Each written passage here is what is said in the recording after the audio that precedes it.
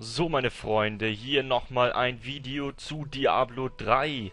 Und zwar habe ich mal ein Tutorial, so eine Art Tutorial gemacht, wie man zum Q-Level kommt, solange die Aktion ist von sozusagen ähm, Diablo 1 und Diablo 3. Und da habe ich was ganz Wichtiges vergessen, weil ich dachte, ich komme nicht mehr zu dem Q-Level, da ich schon ähm, das gemacht habe, aber ich habe einen ganz wichtigen Punkt vergessen. Und zwar, ihr habt gesehen, was ich gemacht habe im, im ersten Video. Wenn nicht, dann tue ich nochmal einen Link draufsetzen in der Beschreibung. So, es war so, dass man ähm, den verrotteten Pilz in Ebene 9 war's, ähm, holen musste. Den dann, da musste man in das, ähm, in die alte Hütte von Adria, oder wie die nochmal hieß, gehen. Und, ähm, den Pilz in den Kessel schmeißen. Ich kann es gerade nochmal zeigen. So, dafür müssen wir nach Alt Tristram.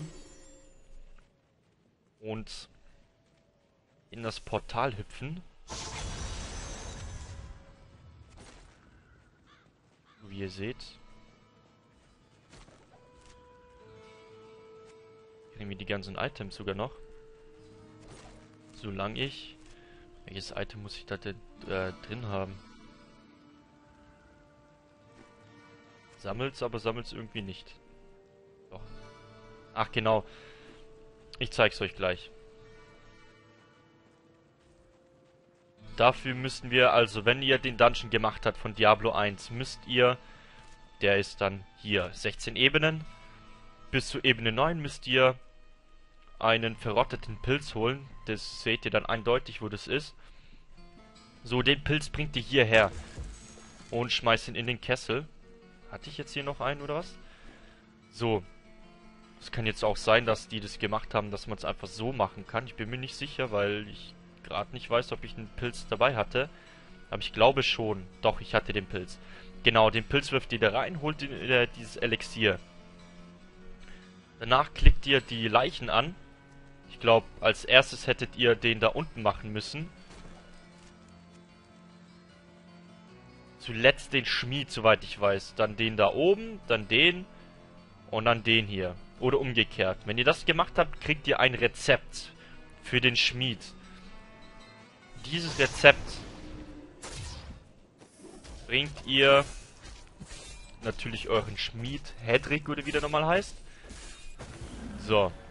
Das ist nämlich ein, ein Rezept für Wirtsbein. Das ist ein Streitkolben, den ihr herstellen müsst, um in den Q-Level zu gelangen.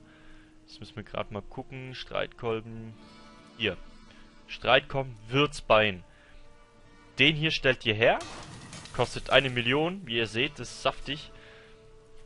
So, wenn ihr dies habt, habt ihr, dann kriegt ihr auch dann neues, wie heißt es, Design für die Waffe halt.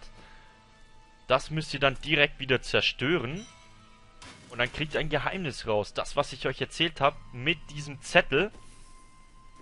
Das zeige ich euch gleich, wo da drauf steht, welche Reihenfolge ihr... Mal rein, dann zeige ich euch den Zettel, da haben wir ein bisschen mehr Ruhe. So, da steht dann drauf, diese alte Karte hättet ihr wohl eigentlich niemals finden dürfen. Anscheinend wurde sie mit etwas gestempelt, das aussieht wie ein Hufabdruck. Zusätzlich sind die Zahlen 213 darauf zu erkennen. So, 213. Das ist eine Kombination, eine Reihenfolge, die ihr gleich betätigen müsst sozusagen. Dann gehen wir wieder darüber. Und da hinten, wie ich schon mal erwähnt habe im ersten Video, wo ich das komplett vergessen habe. Das tut mir echt leid. So, 213 ist die Reihenfolge. Dann klickt ihr die Kühe an. In der Reihenfolge. Also das die 1, das die 2, das die 3, selbstverständlich. So, und hier ist jetzt dieser Dungeon. Verlassenes Bauernhof. Und so gelangt ihr dann zu dem Q-Level. Hier seht ihr die ganzen Kühe. Natürlich sind sie nicht feindselig. Ihr bekämpft hier gar nichts. Könnt ihr die ganzen Kühe betrachten. Hier. Schöne Kühe. So, ihr seht, hier ist so ziemlich nichts, außer einfach rumstehende Kühe. Ich weiß gar nicht, ob man die umbringen kann. Eher nicht. So. Kann ich euch gerade mal zeigen, was ihr hier finden werdet. Und zwar, die Überraschung kommt gleich. So, hier eine Truhe, Wirtsschatz. Die öffnet ihr. Und dann bekommt ihr ein Item, so eine Kuhstatuette oder sowas in der Art. Den klickt ihr damit Rechtsklick an und dann, wie ich schon erwähnt habe, kriegt ihr ein Pet, einen Gefährten und zwar diese Kuh. So.